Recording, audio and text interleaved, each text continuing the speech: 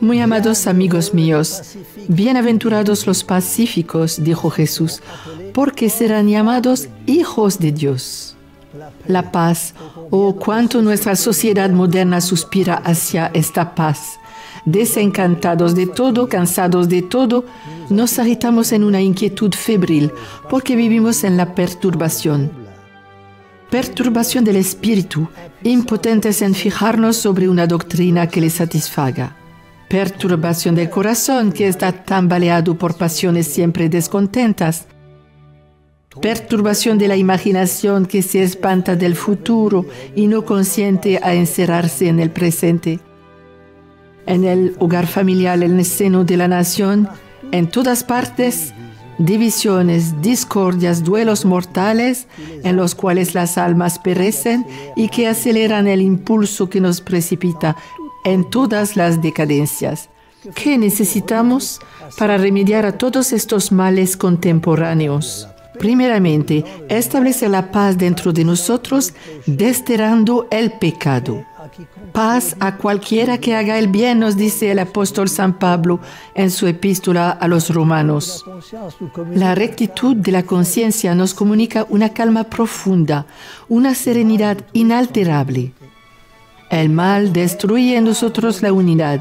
Al contrario, el bien armoniza todas nuestras potencias. Después de haber recobrado la paz, esforcémonos en derramarla alrededor de nosotros, en ser en nuestra esfera de acción artesanos de paz. ¿Qué hace falta para cumplir esta noble tarea? Primeramente es necesario reconciliar a los hombres con Dios, enseñándoles las verdades que dan el descanso y la satisfacción del espíritu, que echan la luz sobre los enigmas de la existencia, sobre los misterios del presente y del futuro. Luego, es necesario que seamos ángeles de paz en la familia y para esto que derramemos un bálsamo sobre todas las heridas que reparemos todas las negligencias, los olvidos, las faltas, que adivinemos las repugnancias, las atracciones, las intenciones, los deseos, que nos dediquemos, que nos sacrifiquemos, que nos despreocupemos de nuestro ego. Por fin, si lo podemos, seamos pacificadores, incluso en el seno de la sociedad, aclarando los malentendidos. Los santos han todos sido hombres de paz.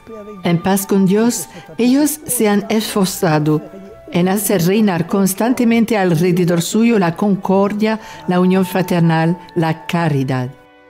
Pidamos pues a María Inmaculada, Reina de la Paz, que nos dé a todos el ánimo para derrumbar los obstáculos que impedirían a la paz reinar sobre nosotros y alrededor nuestro. Por esta razón, digamos de todo nuestro corazón, Madre al corazón doloroso e inmaculado, sálvanos y danos la paz.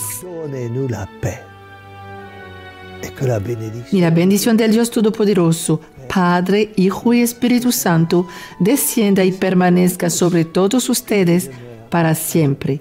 Amén.